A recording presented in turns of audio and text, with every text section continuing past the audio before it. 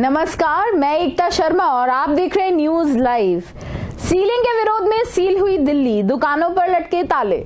दिल्ली में चल रही सीलिंग के विरोध में सात लाख से अधिक दुकानें बंद हैं। कुछ कारोबारी संगठनों ने दो दिन और कुछ ने तीन दिन की बंदी की घोषणा की है, जबकि कई बाजारों ने सांकेतिक विरोध दर्ज कराते हुए केवल एक दिन शुक्रवार को बाज़ार बंद रखने का ऐलान किया है। व्यापारी जगह जगह प्रदर्शन भी कर रहे हैं। Confederation of all India traders के नेता प्रवीण खंडेलवाल का कहना है कि सीलिंग के चलते व्यापारियों को बहुत नुकसान हो रहा है। अरुण जेटली ने कहा, सत्तर लाख नई नौकरियाँ पैदा करेगी सरकार। वित्त मंत्री अरुण जेटली का कहना है कि सरकार करीब सत्तर लाख नई नौकरियाँ सृजित करेगी। स्टैंडर्ड डिडक्शन स्कीम को दोबारा लाया गया है। इस स्कीम के मुताबिक नौकरी पेशा लोगों को ट्रांसपोर्ट और मेडिकल खर्च के मद में ग्रॉस सैलरी से चालीस हज़ार रूपए घटाकर उस आमदनी पर टैक्स देना होगा।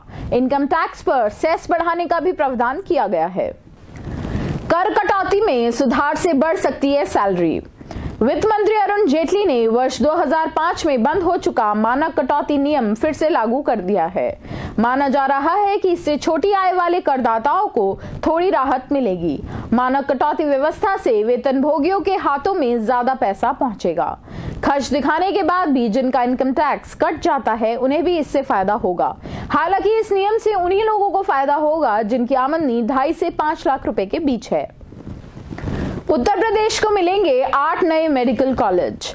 वित्त मंत्री अरुण जेटली ने अपने बजट भाषण में कहा कि हम देश के हर तीन लोकसभा सीटों के मध्य एक मेडिकल कॉलेज खोलेंगे।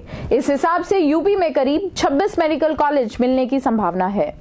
यूपी में लोकसभा की 80 सीटें हैं और अभी 17 मेडिकल कॉलेज हैं। ऐसे में अनुमान लगाया जा रहा है कि यूपी में करीब 8 और मेडिकल कॉलेज मिल सकते हैं। उधर सीएम योगी आदित्यनाथ ने ट्वीट कर कहा कि 24 में से 8 मेडिकल कॉलेज यूपी को मिलेंगे। टेंशन कम करने के लिए सीबीएसई करेगा छात्रों की काउंसलिंग। मार्च में शुरू होने वाली बोर्ड परीक्षाओं को देखते हुए सीबीएसई छात्रों को काउंसलिंग की सुविधा देने जा रहा है। यह काउंसलिंग अभिभावकों के लिए भी होगी। इक्यानवे प्रिंसिपल काउंसलर साइकोलॉजिस्ट आदि टेलीफोन से छात्रों की समस्याओं का समाधान करेंगे। इसके लिए टोल फ्री नंबर एक आठ शून्य शून्य एक एक आठ शून्य शून्य चार जारी किया गया है। यह हेल्पलाइन एक फरवरी से तेरह अप्रैल तक चलेगी। छात्र व अभिभावक सुबह आठ से रात दस बजे तक काउंसलर से संपर्क कर सकते हैं। अब रुक करते हैं हमारे सहयोगी शीना अग्रवाल की तरफ़।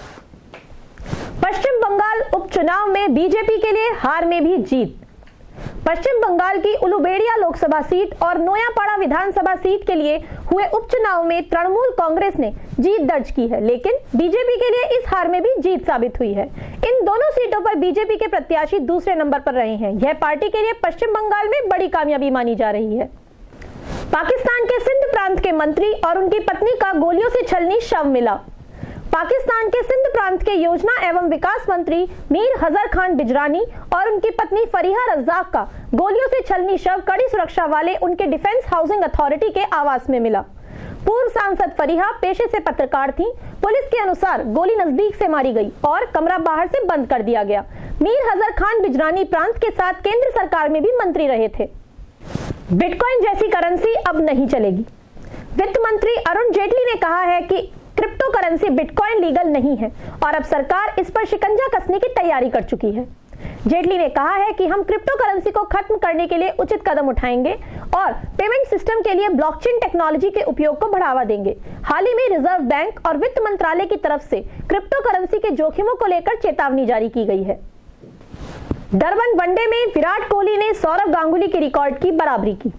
भारतीय क्रिकेट टीम के कप्तान विराट कोहली ने दक्षिण अफ्रीका के खिलाफ डरबन वनडे में शतकीय पारी खेलकर टीम इंडिया के कप्तान के रूप में सबसे ज़्यादा वनडे शतक बनाने के सौरभ गांगुली के रिकॉर्ड की बराबरी कर ली। दोनों खिलाड़ियों के ही कप्तान के रूप में 11-11 शतक हैं। विराट की 112 रन की पारी की बदौलत टीम इंडिया ने दक्षिण अफ्रीका को 6 विकेट से हरा दिया और 6 वनडे मैचों की सीरीज़ में एक शून्य की बढ़त बना ली।